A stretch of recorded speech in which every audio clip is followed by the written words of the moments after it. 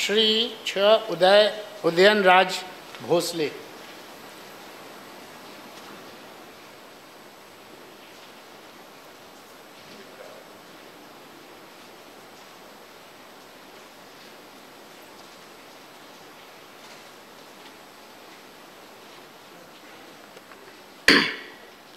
I, Udayan Raje Pratap Singh Raje Bhosle, having been elected a member of the Council of States, do solemnly affirm that I will bear true faith and allegiance to the Constitution of India as by law established,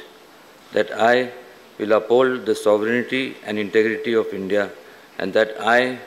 will faithfully discharge the duties upon which I am about to enter. Jai Hind, Jai Maharashtra, Jai Bhavani, Jai Shivaji.